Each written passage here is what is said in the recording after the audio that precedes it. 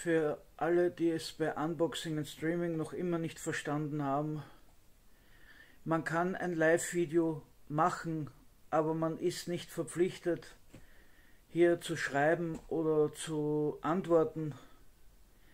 Es wird halt, wie gesagt, vorproduziert und an dem Tag wird es freigeschalten und ist das Video auch viral. Also es hat jetzt nichts damit zu tun, dass ich keine Lust auf Schreiben oder der Sache hätte. Also ich bitte euch wirklich um Rücksicht. Also wenn ihr selbst YouTube-Videos machen würdet und ich so kommen würde, dann würdet ihr euch bestimmt auch nicht freuen und viel Spaß mit meinen Videos und Geduld ist die Porzellankiste.